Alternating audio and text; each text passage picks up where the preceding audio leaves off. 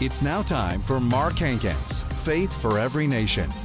Mark and Trina train and equip leaders in every nation through church services, leadership conferences, mission trips, and media. Get ready for a direct and joyful message about how to grow in your faith and learn more about who you are in Christ. Now, let's join Mark and Trina.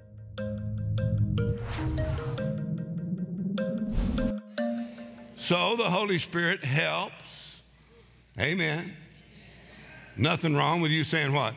Holy Spirit, I need some help. Right? Here he says he helps us to pray supernaturally. Amen. He helps us to pray supernaturally beyond your intellect. Amen. But there, then he says the Holy Spirit makes intercession for us. Now, look at that word intercession just for a second, because the Holy Spirit, one of the words for paraclete is he's our intercessor. All right? So, Rick, God bless Rick wherever he is right now, but he gave us this definition of intercessor. You ready for this? So, he said this Greek word for intercessor is the picture of someone who has fallen into a pit by which there is no way they can escape. The intercessor is the one who comes along and finds you in that pit. The intercessor is the picture of the one who jumps in the pit with you and pulls you out of the pit. Let's say it this way the Holy Spirit has pit experience. So, no matter how bad the pit is, come on, no matter how long you've been in the pit, no matter how hopeless it may look, no matter how bad the struggle may be, the Holy Spirit comes along and says, Hey, and He doesn't just stay on the side of the pit and tell you to jump higher. Try harder. No, the intercessor jumps in the pit with you, shares your feelings Come on, he knows how you feel. He knows what you're going through. Come on. And he in that pit with you, in the situation with you, and then what? He's going to pull you out of that pit.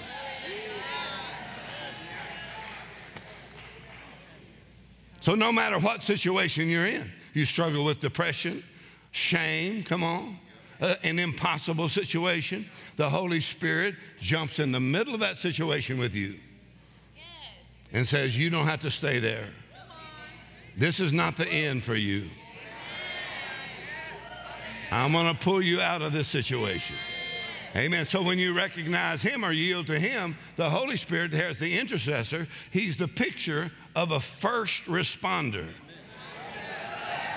Aha. So a first responder is what? Somebody who shows up on a tragedy, come on, and knows exactly what to do to take things that are out of order and bring them back into order. Come on, this morning I want to tell you that the Holy Spirit is in the middle of your situation, helping you right now where you are, pulling you out of that situation, taking things that are out of order, bringing it back into order. You ought to just say, Thank you, Lord, for the Holy Spirit. Thank you, Lord, for the Holy Spirit. You're not alone. You're not on your own. Come on. The Holy Spirit. Come on. He's your helper, your strengthener, your intercessor, your advocate. You'll stand by. He's the greater one. He's the same Spirit that raised Christ from the dead. Let's try that again. I said, He's the same Spirit that raised Christ from the dead, and He dwells on the inside of you. Well, He'll quicken. Come on, your body. The anointing of the Holy Spirit. The anointing of the Holy Spirit. Hallelujah. You cannot get a sad anointing. The Holy Spirit, that anointing is called the oil of joy. Amen. And the psalmist said, I shall be anointed with fresh oil. Some of y'all need an oil change today, I can tell by looking at you. You need a fresh anointing of the Holy Spirit.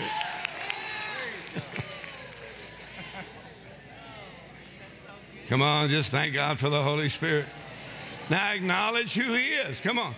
Acknowledge who He is. He's the greater one, He's my helper, He's my strengthener. Come on, how in the world could you lose with the Spirit of God living on the inside of you? Rising up on the inside of you. Thank God for the Holy Ghost.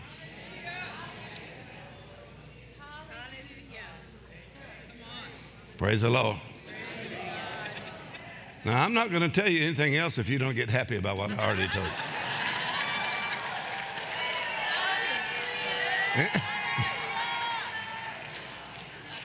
Come on, the Holy Spirit will think through your mind, change your personality. Look at somebody next to you and say, You might consider that. The Holy Spirit change your personality, put victory in your voice.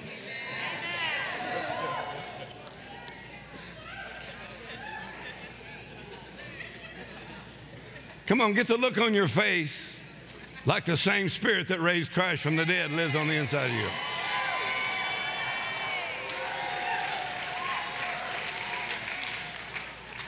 Change your countenance. Amen. So when Paul happens to mention this facet of the Holy Ghost, he calls it joy in the Holy Ghost. Joy in the Holy Ghost.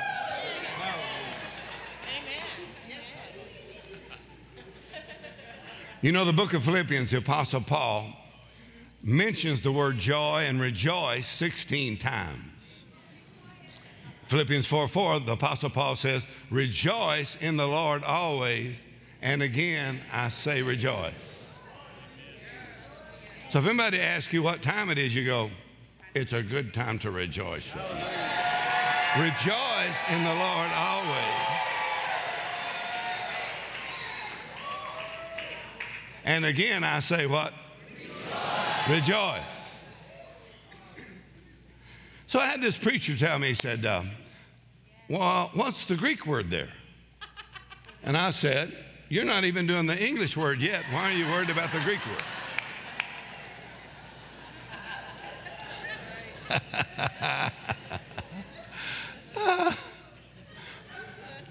the Holy Spirit will have you rejoicing at the most unusual time. You'll even try to tell him this is not a good time.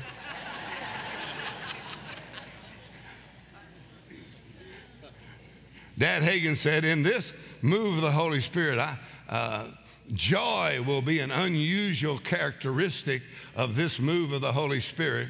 He said, and when this anointing is in full manifestation, you know, the Bible says in the Old Testament, the glory of God fill the house. Glory. Everybody say glory. First Peter chapter 1, verse 8 says, Yet believing. We got any believers in here? Come on, First Peter 1 8 says, Yet believing, you rejoice with joy unspeakable and full of glory.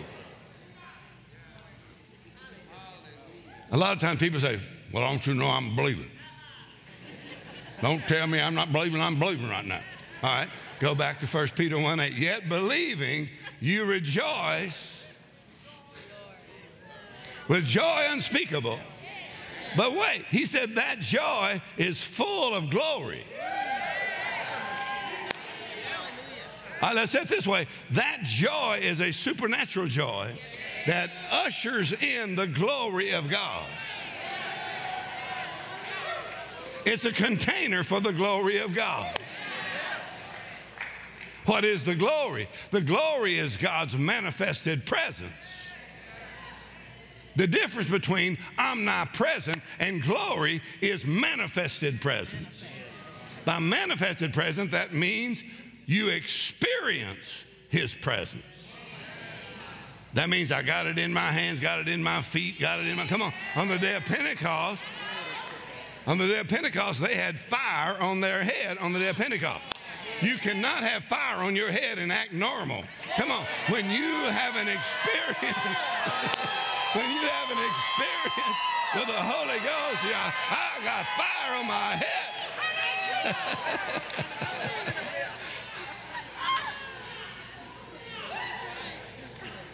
that fire strategically placed on your head.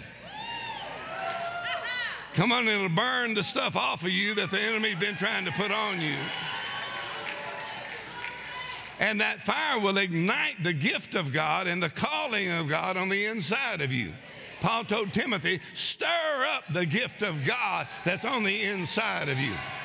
Come on, that means light it back up. Come on, get it back on fire. Some of y'all need to get relit this morning with a fresh fire of the anointing of the Holy Ghost. Praise the Lord. So write this down. I know you know some of these things. C.S. Lewis said, you can't say it any better than he said it, so I'm just going to tell you what he said. He said, Joy is the serious business of heaven. Joy is the serious business of heaven. One more time for those. Joy is the serious business of heaven. Or let's add this joy is serious business. Our joy is the serious business of heaven. That means in an atmosphere of joy, heaven takes care of some serious business.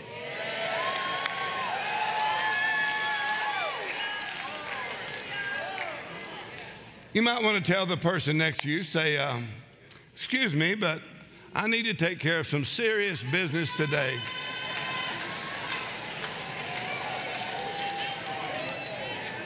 Let's try it again. I need to take care of some serious business today. I don't really want to scare you. I don't want to offend you, but I'm going to have to get real happy here in just a minute. And while I'm rejoicing, while I rejoice,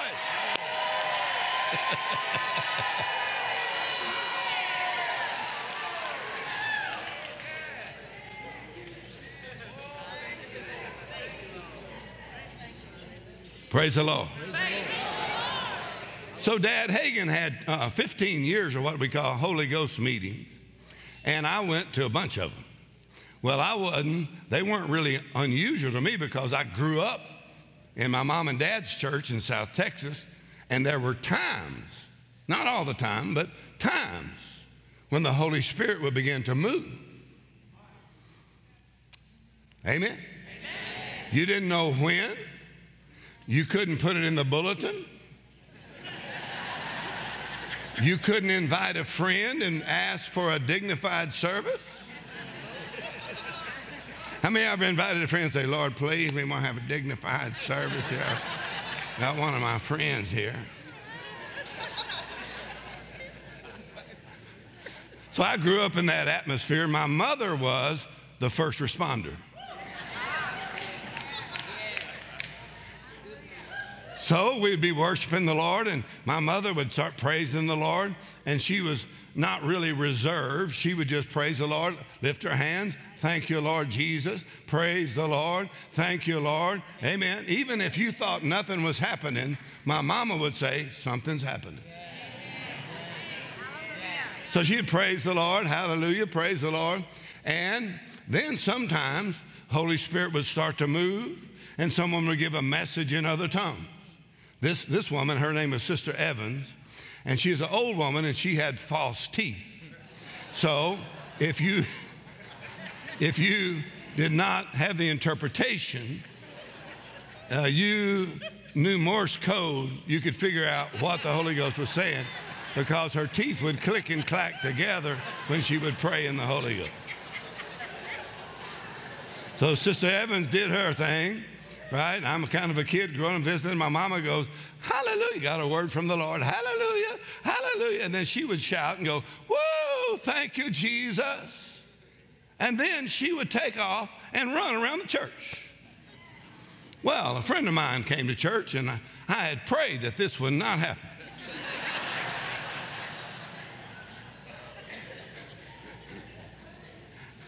My friend said, What is that language they're speaking? And he says, That Latin? I said, No, we're not Catholic. I'll explain it to you later. Then my mother goes, Woo! And she takes off running around the church, and my friend says, Who is that woman? I said, I have no idea who this woman is. I was so ashamed that it was my mother being so demonstrative, rejoicing, and running around the church.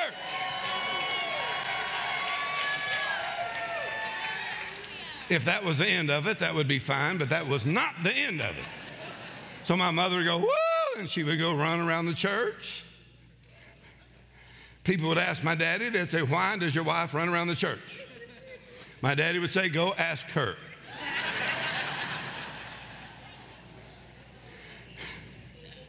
then my daddy would say, Some of you think that is not necessary, and it is not necessary unless it is necessary.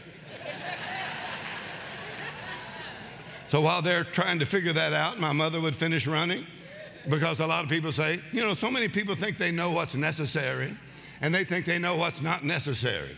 But if God said you need to count it all joy when you're going through adversity, then it must be necessary for you to go ahead and rejoice. Come on now.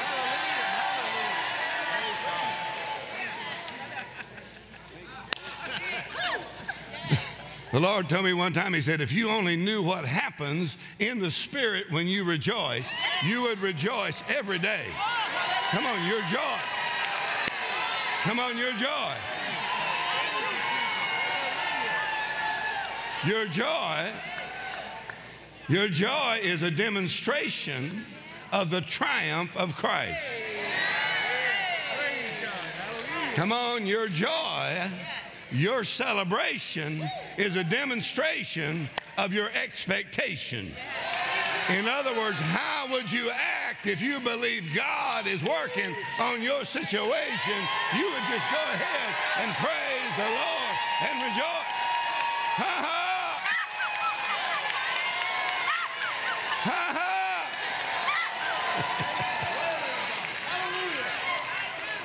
all right, I said, that. so my mama, she'd run. The reason my daddy would say, go ask her was because my mom, when my mom and dad first started pastoring in a little town called West Columbia, Texas. Anybody know where West Columbia, Texas is? It's one mile west of East Columbia. It's down south Texas.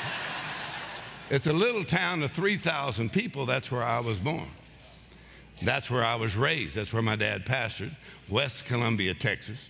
It was such a small town, they had to put a mirror at the end of town to make it look bigger. It was such a small town, the welcome and y'all come back sign was on the same pole. It was such a small town.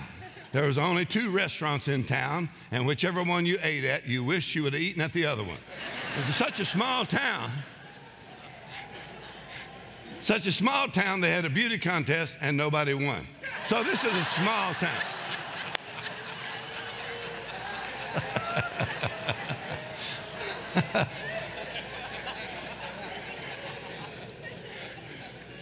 But when my mom and dad first moved there, they were the pastor of that church, very, very small church. And my dad had a heart attack. My mama had a nervous breakdown. Imagine, she's the pastor's wife, and she lived in the back bedroom in darkness most of the time because of depression or shame, things that had happened to her that no one knew. And so she struggled and struggled with that, and she stayed in the back bedroom and didn't have any money. But somebody came and gave us the word of faith, which we call the authority of the believer.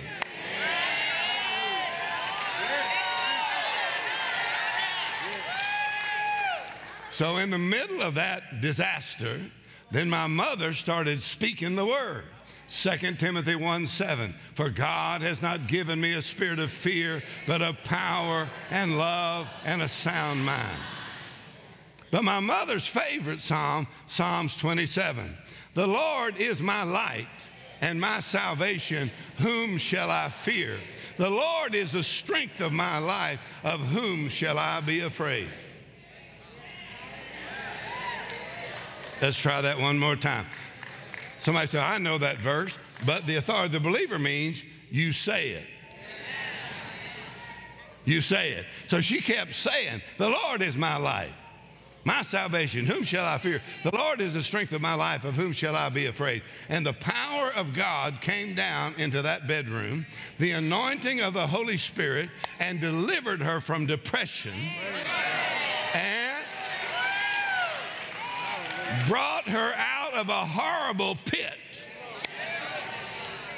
Come on, looked like there's no way out. She came out of that pit, changed her life. So when she would come to church and thank the Lord. If you knew the pit she came out of, you'd know why she prays the way she prays. Are y'all here? I said, if you knew the pit she came out of, Come on, you might want to tell somebody around you if you knew where I came from, you'd know why I praise like this, why I shout like this, why I laugh like this.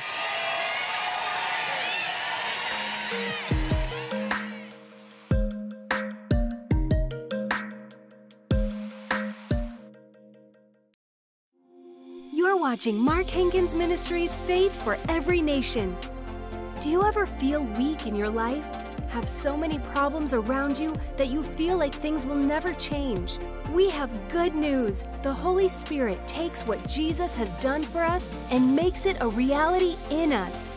The way you yield to the Holy Spirit is the same way you yield to all the will of God. God doesn't just want to clean you up, He wants to fill you up.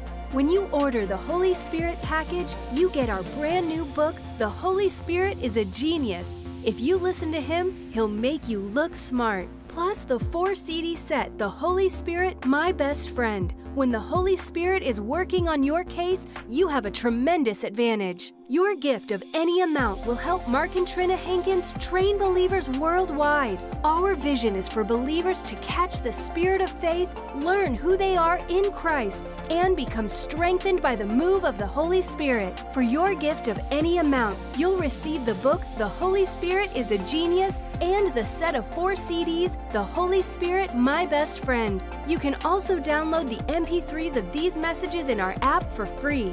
Please call 318 767 2001 or visit markhankins.org. Thank you, World Missions Partners. Together we can, together we will. Thank you so much for tuning in for today's message on the Holy Spirit. I love this teaching on the Holy Spirit because a lot of times the Holy Spirit is a mystery to people, right? They don't really understand what the Holy Spirit does, who He is, what He can do. He's more than just the Holy Spirit, but He is our friend, He's our comforter, He's our standby, He's our advocate, He's our helper. And my dad has this new book. It's called The Holy Spirit is a Genius. If you listen to Him, He'll make you look smart. I want to read this quote to you real quick from his book. It is amazing. It talks about the Holy Spirit. And it says, He is called in to render service. He is called in to help in a situation with which a man by himself cannot cope. He will keep a man on his feet when left to himself, he would collapse. The Holy Spirit enables him to pass the breaking point and not break. Man, that is powerful. If you've ever faced a difficult situation where you felt like, I just can't take it anymore, I just can't do this anymore, you may find yourself in a pit of discouragement or a pit where you just feel like it's just, there's no more hope. I don't know what else I can do. I've tried everything. The Holy Spirit is there. He is your friend. He's never leaving, and He will get into that pit with you and He will pull you out. That's what the help of the Holy Spirit does. You can pass beyond the breaking point, but not break with the help of the Holy Spirit. I want you to get this book today. It's going to help you. In good times and in bad times, the Holy Spirit is there. He will help you, encourage you, He will strengthen you, He'll stand by you, He'll be your very best friend. Get this book today. You can go to markhankins.org or call the number on the screen. Until next time, I'm Alicia Hankins Moran. He sent His word and healed them and delivered them from their destructions. Mark and Trina have taken the gospel of Christ and the word of faith to many nations for over 50 years with this mandate. Their desire is to train and equip believers in the U.S. and around the world with the in Christ message, the spirit of faith, and the move of the Holy Spirit. They do this primarily at leadership conferences, church services, and Bible school. When leaders are impacted, they are able to take the same message and anointing back to their churches and ministries in remote areas. Many of these countries they have gone to multiple times and continue to build on the work they are doing. Because of this, another major part of the ministry is the translation and distribution of our books. Dad Hagin said, The greatest distribution of the gospel in the end times will be the printed page. The amazing thing is, our books go places we may never go and reach people that we may never know. Right now, we have over 40 books that have been translated in many different languages. We are believing for our books to be translated into 100 different languages. Another major assignment of Mark Hankins Ministries is our daily television program. The television program has expanded the reach of the Word tremendously. Every day, we are able to come into people's homes and teach the Word to people of all ages, denominations, and walks of life. We are amazed at the testimonies we receive from people who watch the television program and have been healed, set free, and set on fire with the Word. The influence of the television program continues to grow, and the program now has the potential to reach over 80 million homes with the life changing Word of God. We recently completed the construction of our new conference center at our ministry headquarters. We like to see this facility as a distribution center for the gospel. We host many multiple day conferences every year and it houses our new television studio. The studio allows us to pipe out the word to more people than ever before. Now is not the time to slow down, but we believe there is an acceleration of the assignment to reach more people, more languages, and more nations with the gospel of Jesus. We want to thank our faithful world missions partners. Your gifts, large and small, all join together and make a huge impact for the kingdom of God not only here in the US, but also around the world. If you could see all the faces of people reached and how their lives are transformed, you would see how their spirits are encouraged and set on fire. Each individual represents a unique story of redemption and restoration in the Lord Jesus Christ, a testament to the unfailing love of our Heavenly Father. Together, let us continue to use every avenue possible to take the life changing gospel and word of faith to as many people and to as many nations. Remember, together we can, together we will. Thank you for watching Mark Hankins Ministries Faith for Every Nation. For more information on how to build your faith, visit markhankins.org. You can access many free word resources to help you find who you are in Christ. Thank you for watching.